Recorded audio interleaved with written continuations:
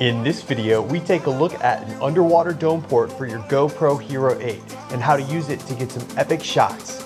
Coming up.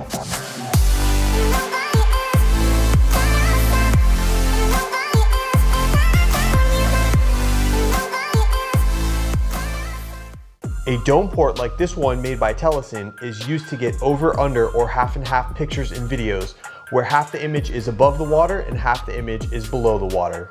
This can make for some amazing content for your social media and help you share your experience out on the water. To get the most out of your dome port, there are a few things you need to keep in mind. First, when using the dome port in the water to get half and half shots, you'll want to move slowly through the water. Moving too quickly through the water will churn up the water line and make the image look bad.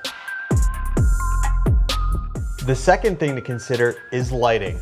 If above the water is too bright and below the water is too dark, your footage is just not gonna look very good. So when you're out there filming, try to keep the sun in front of you and not behind you.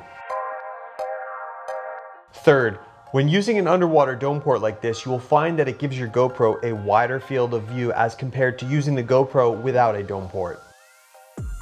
This wider field of view can help you take better selfies underwater. Also, a dome port like this does not distort the image and gives a very good look underwater.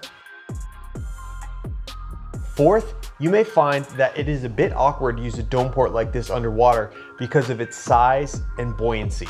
It will constantly be pulling your hand up and if you let it go, it's gonna float straight to the surface. I would recommend a sturdy pole mount or the GoPro three-way grip. Fifth, keep the dome port clean and free of scratches. This is made of plastic and will scratch very easily. Any dirt, scratches, or bubbles will show up in your footage and make it look not as good. Hey, thanks for checking out this dome port with me. I hope you enjoyed the video.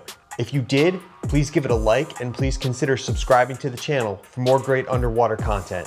Thanks again. Now get out there and explore.